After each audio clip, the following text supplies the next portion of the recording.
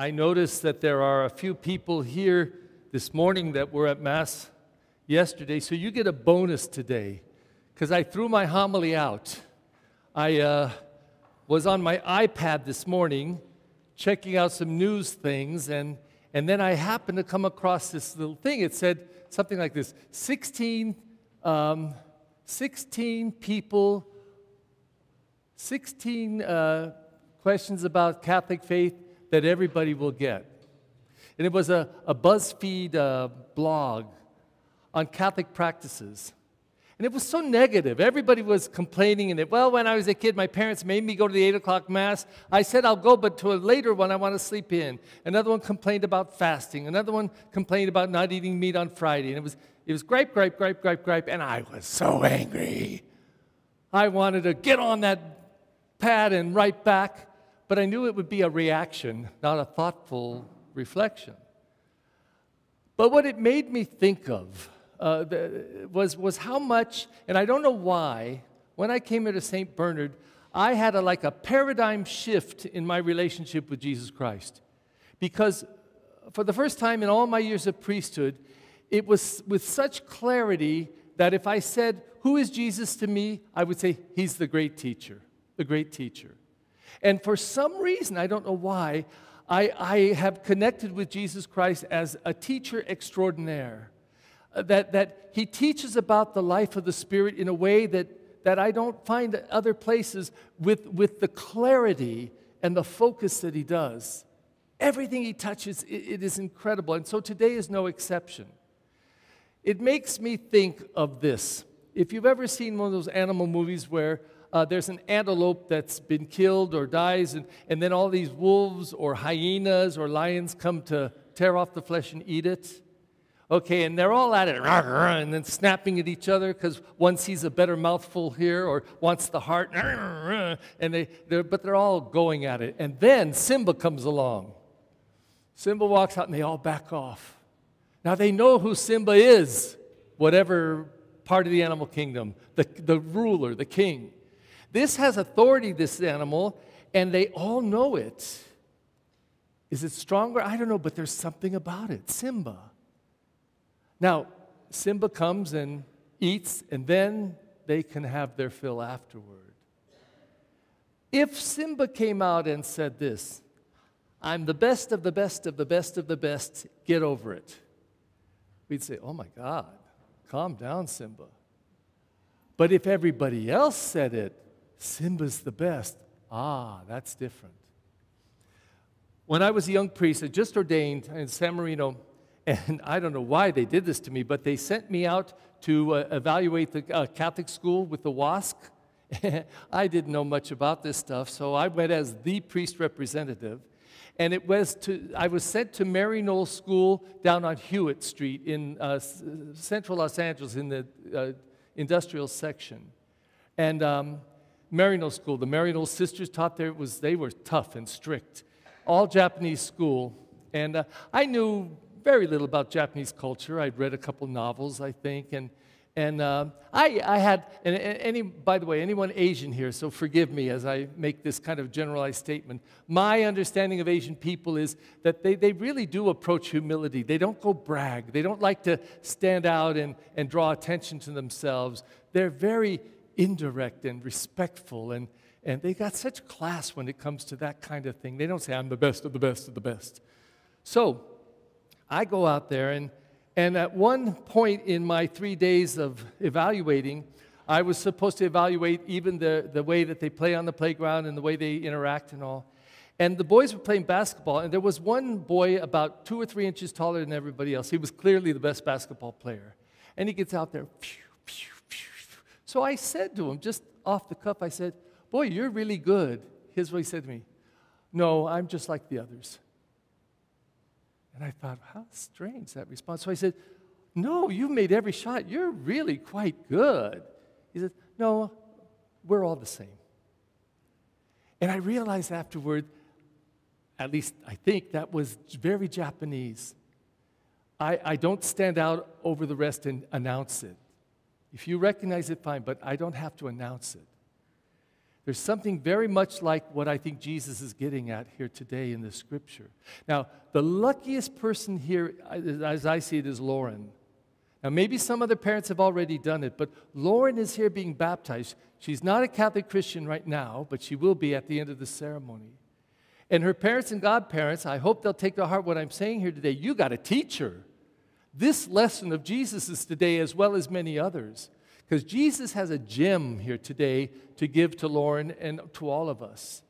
And if we get it, if we learn it, it's incredible. Like those 16 people that complained about all the stuff in the church, I said, please, the stuff you're talking about is the easy stuff. What Jesus wants is what he's preaching today, and this is spiritual stuff. Let me take one. We're supposed to fast for an hour, not before Mass, but before we receive communion. So that will be about 10 a.m. this morning. Mass started at 9:30. That means that you could have eaten all the way up until 8 a.m. I mean 9 a.m. Uh, because that would be an hour before communion. Okay.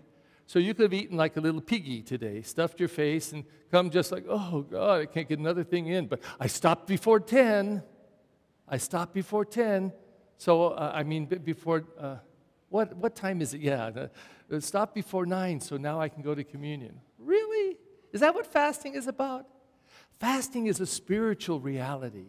The point of fasting isn't just so you fulfill a, a rule, it is to purify yourself and to open yourself to be hungry, to be hungry for the Eucharist. Now, when I was a little boy and received my first communion, it was three hours. That was a little more of a challenge. But how many here remember when it was midnight? Anybody here? Before midnight, you could eat all you want, but at midnight it stopped. And you couldn't eat or drink even water? Could you have water? Nothing. Nothing till you received communion. How did you go to the 11 o'clock Mass? Oh, God, I can't wait till this is over. And then on the way, I had to pass that bakery and smell those rolls. Oh, I wanted to kill. So the, the, the point wasn't just a, an exercise in not eating and then getting upset about it. It was to purify. It was to actually experience, if you could, physical hunger and then jump to the spiritual and say, just like I am physically hungry, more importantly, I want to spiritually hunger for the Lord, for the truth. So if I came to this Mass hungry for the Lord's teaching and say, whoa, he's teaching about humility. What does he have to say about this?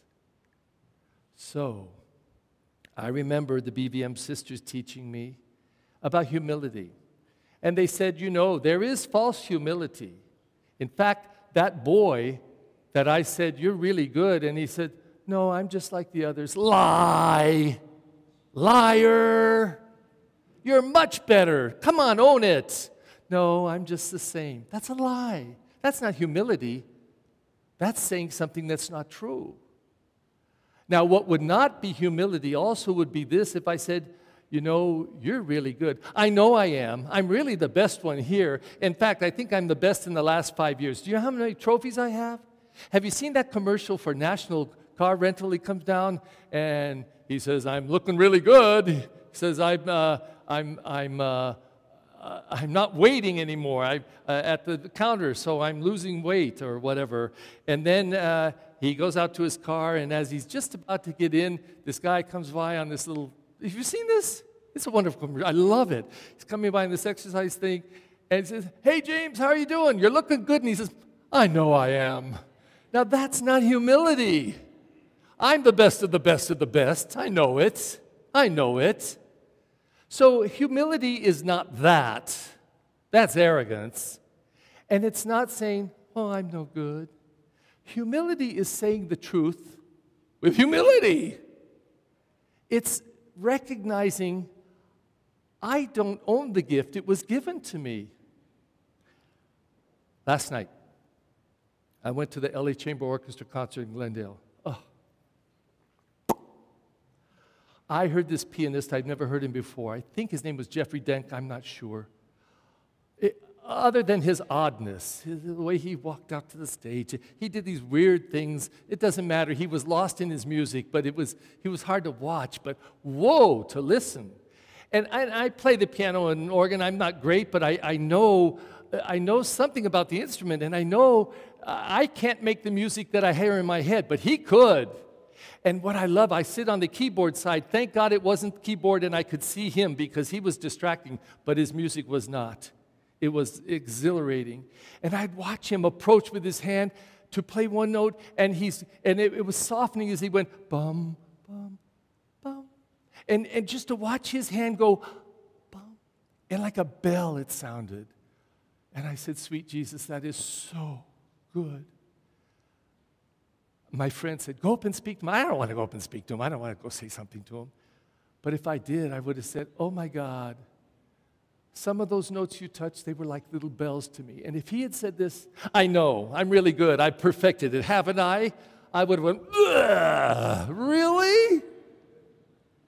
But if he had said, Thank you so much, I've really worked at it. You know, these artists, they are great. They still practice eight to 10 hours a day. And you know why? They'll practice a trill. I don't know if you know what a trill is. It's going back and forth between two notes going dee dee dee dee dee dee dee dee and they go really fast. They'll practice that for 15 minutes. No, it's not right yet. And not just the trill, but how they leave the trill. Oh, it's pure art. But if this man said, you know, yes, God gave me a gift. I work hard to develop it, but it's a gift. I, I don't deserve it. I didn't earn it. That's humility. Now, why would Jesus focus on that? Because if we live a lie, I'm the, be- the best of the best of the best, even though we might be, we're certainly not the best when we have to tell everybody that we are. But if we recognize that we've been given gifts and then we have a responsibility if we appreciate the gift, to, to grow it and to develop it. But in the end, even though we might say, I do know this as a fact, I am the best on the planet with this, but it's all gift. So one can be the best and acknowledge that they are the best and still be humble about it. Now, that is not easy to achieve. That's a spiritual journey. And not everybody knows how to make it. How will you teach it to Lauren? How will you do it? It ain't easy. But I do know this. And I know that Jesus is an extraordinary teacher. He goes to the core. And he's able to find a gift and tell us, this is what you want, this is what you need. And if you find this, if you find this, you will find life. You will find life. Today, he invites us to consider the gift of humility and what that might do to our lives.